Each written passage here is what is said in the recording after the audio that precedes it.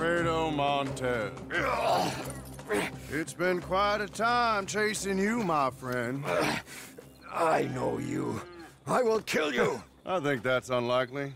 A whole lot more likely is you're gonna have your neck broken while these folks here watch and laugh and say what a nasty bastard you We shall see. A thousand dollars to whoever sets me free. Well, these folks here have something money can't buy. Honor, dignity, and a sense that not everything is for sale. And they are as foolish as you. And they are. But they're still getting paid a fair price for a job well done.